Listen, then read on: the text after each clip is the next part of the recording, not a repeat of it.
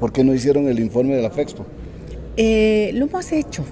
Eh, sí, em, lastimosamente nos ha el tiempo, ¿no? Y la fecha, estamos en fin de año, entonces mm, vamos a ver eh, en enero de, de, hacer conocer a la población el resultado. Bueno, hicieron, pero no, no lo presentaron. Lo hicimos, lo hicimos. ¿Ante Lo hicimos en nuestra institución con nuestro Ah. directorio. Es que eh, invitaron a la prensa y luego retiraron la invitación. Eso me pareció extraño. Eh, no, no, no tengo conocimiento de aquello. Ah. Probablemente pasó eso por el, por tiempos, ¿no? No se logró terminar en el tiempo. ¿Y cuáles son los resultados una vez que han hecho eh, el Eh, informe? son positivos, ¿no? Lo, lo más Ah. importante es que se ha trabajado para la población.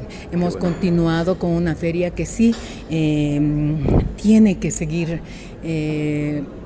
se tiene que seguir trabajando en esto todos los años. Bueno, sí, positivo. ¿Qué números tiene? No, de números no le podría decir, eso sí tendríamos que ver en, una vez en el momento del lanzamiento. ¿Se acuerda más o menos cuánta cantidad de gente entró a la FEXPO? Mm, Es, es la relación más o menos del año pasado. Ya.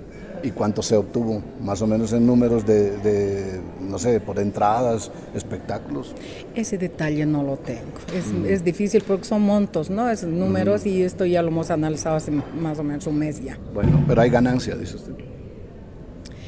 Eh, pienso que en números, ganancia no, pero yo, yo pienso que lo más importante es que hemos logrado que apoyar a, a- a todo el sector chuquisaqueño, al, al emprendedor y sobre todo dar también, cambiar la imagen que tenía el lugar, que hemos invertido bastante dinero en, en posicionarlo al lugar como un lugar seguro. O sea que no había mucha ganancia o no, No. hay ganancia.